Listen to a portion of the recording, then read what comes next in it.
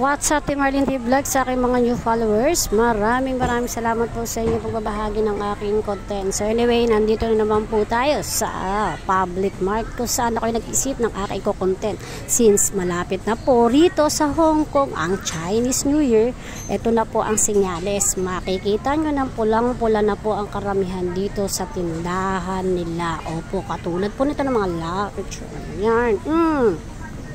So makikita naman po ninyo at ibang iba't ibang kung saan talaga naman po pinaghahandaan nila. Oo. Hindi naman po talaga maiwawala sa mga Chinese New Year na ang ganyan. Oo. So iba-iba po ito Lucky Charm at nang maapaw at nag-uumapaw ang kaswertihan. Ika nga kapag nabigay ng ampaw. Yan. Mostly nakikita po ninyo.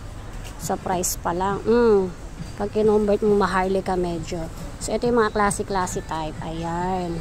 Iba't ibang uri din po ng ampaw. Ayan. May pa-gold. May prutas. Ayan. Mm. Meron din mga tipong ganun. Oh, ba diba? So, handa-handa na mga pangyaw ang aking mga kababayan dito sa Hong Kong.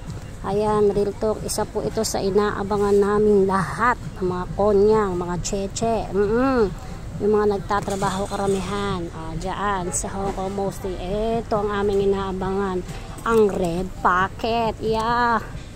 Mamuting na mo ang liit oh. mas maganda nga minsan nung maliit eh. mas magugulat ka ang laki ng laman. Kasi karamihan doon sa malalaking laman ayan mm, alam na. So diba oh diba may mahaba din siya mm So, ayan mga Lodi, kung makikita at matatanong nyo, ang gaganda. Meron pa sa loob na talaga ng mga, talaga ng mga mapapawaw ka. So, iba po ang price niya. May mga nakasabit pa po sa loob. Ayan. Oh.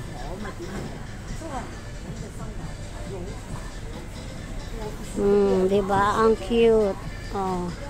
Ito sa pintuan nila inilalagay. Ayan, dahil si Cheche La Quachera, ayan ang aking naisipang content na way nakatulong sa inyo at nakapagbigay good vibes mga Lodi Wops. O siya, bye for now. Stay tuned to my content.